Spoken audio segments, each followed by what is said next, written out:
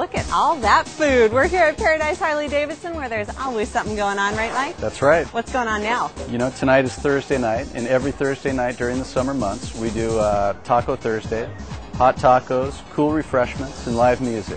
Very nice. And it's not just Thursdays, right? That's right. Uh, we also, every Saturday, 52 weeks out of the year, we've got live music from noon to 4, hot food, and cool refreshments every Saturday. And cool bikes, not to mention. Lots of cool bikes. And you also sponsor a hog group. That's right. That stands for Harley Owners Group, and our uh, Sunset Hog chapter has over 450 members. And paradiseh-d.com for more information on events, right? That's right. See, I've done my homework. I went online, I checked out the site. There's lots of stuff going on here, and in just an hour, we're going to show you how you can learn to ride a Harley and become part of the lifestyle and eat some food on PDX 49.